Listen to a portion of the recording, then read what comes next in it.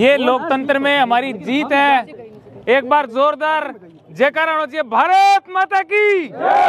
ये लोकतंत्र में हमारी जीत है, क्योंकि आप ये देखना, इतने दिनों में ये जो लोग बोल रहे थे कि भैया सबके नामांकन हो रहे हैं, तभी चौदह लोगों ने नामांकन किए हैं। आज तीन बजे के बाद भी अधिकारी जी लगे हुए हैं, और आप देखना, आज कितने नामांकन होंगे? 200 परसेंट इजाफा होगा।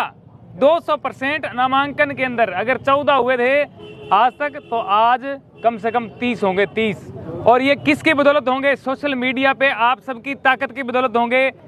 मैंने जो आवाज़ उठाई थी, सबने शेयर किया, सबने आवाज़ उठाई, ये ये वहाँ तक आवाज़ पहुँची। सुबह से मैं लगा हुआ था, फ़ोन कर रहा था। अंततः हमारा और बाकी लोगों का भी नामांकन हुआ है। मैं election commission of India, Delhi, जिन्होंने हमारी आवाज़ सुनी, यहाँ पे बात की होगी। बहुत बहुत धन्यवाद देता हूँ। धन्यवाद देता हूँ हमारे सर का। इतना इन्होंने सहयोग किया और हमारी पूरी टीम का धन्यवाद और सोशल मीडिया पे जितने लोग हैं, आप सबका धन्यवाद। हमारी जीत आज हो चुकी है। हम चार जून का इंतज़ार नहीं करेंगे। जितना हम लड़े हैं, हमारी जीत हो चुकी है। हो चुकी है। ये ऑप्शन मिलेंगे। कोई पर्चा उठा ले। मैंने पहले ही कहा था, हम नहीं उठाएँगे आज हमारा पर्चा दर्ज हो गया।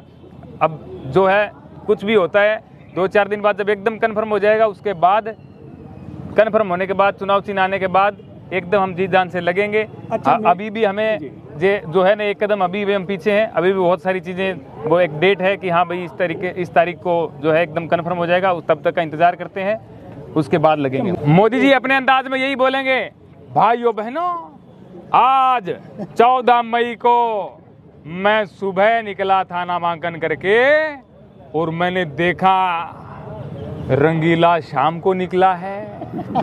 अरे भैया मैंने तो टाइम टू टाइम नामांकन किया था। ये रंगीला ने तो तीन बजे के बाद किया है। तो इस बात के लिए मैं बहुत बहुत धन्यवाद अधिकारियों का जितने हमारे यहाँ पे पुलिस के अधिकारी लगे हुए थे अंदर अधिकारी हैं सबका धन्यवाद। बड़ा सुकून मिला आज। आज की तस्वीर देख करके बड़ा सुकून मिला।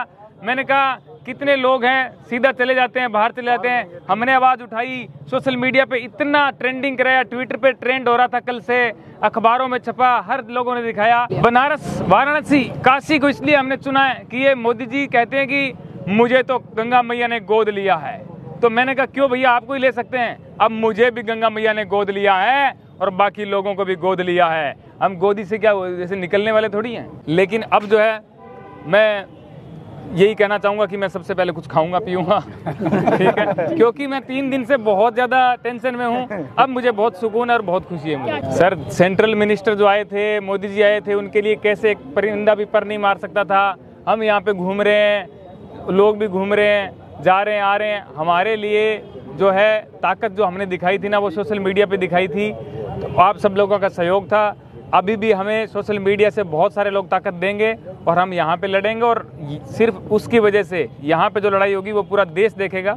आप देख रहे हो दस साल पहले मैं उनके सपोर्ट में था और दस साल बाद मैं उनके विरोध में हूँ। तो बहुत सारी चीज़ें इस पे विस्तार से बात करेंगे। बहुत टाइम लगेगा इस पे बात करने बैठेंगे। तो ये एक मिनट में बात सर जाएगी। अच्छा मोदी जी कभी मीडिया से बात नहीं करते? इस तरह से आप बात करते रहेंगे सर मीडिया ही हमारी ताकत है। सर मीडिया ने जितना सहयोग किया है सबसे पहले तो मैं उनसे सबसे माफ़ी मांगूँगा जिनका फ़ोन मैंने आठ नौ तारीख से लेकर के आज तक उठाया नहीं या उठाया है तो मैंने प्यार से ये बोला, मैंने कहा, सर, मेरे को आप टाइम दीजिए, तेरह तारीख तक उसके बाद बात कर लूँगा। अब तेरह निकल गई, उनका भी फ़ोन आने लगा कि तेरह तो हो गई, लेकिन अब चौदह निकल गई। अभी भी सबको लग रहा था तीन बज गए, बाहर नहीं आया मतलब क्या हुआ अपडेट नहीं आया ट्विटर पे।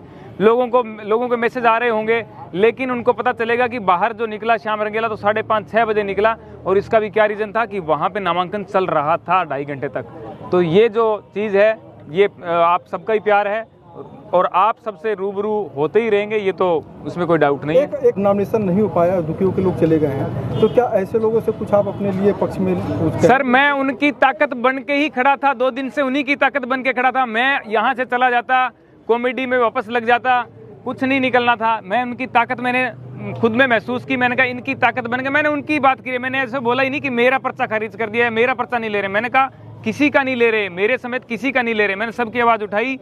अब जिनका नहीं हुआ, घबराने की बात नहीं है। आपका भाई बैठा है श्याम रंगीला, निर्दलीय हूँ। कोई पार्टी से नहीं हूँ, आप भी निर्दलीय लड़ रहे थे। एकदम बरोबर समझना, श्याम रंगीला प्लस जो सारे लोगों का नामांकन नहीं हुआ, वो सारे हम मिल करके एक ही हैं। ये उनको संदेश देना चाहता हूँ। और मैं कह रहा हूँ, आप आज का ये रिज़ल्ट देखना, आप आज की जो देखोगे ना रिज़ल्ट की कितने लोगों ने नामांकन किया तो आपके दिल को सुकून मिलेगा, ये मेरा भरोसा है।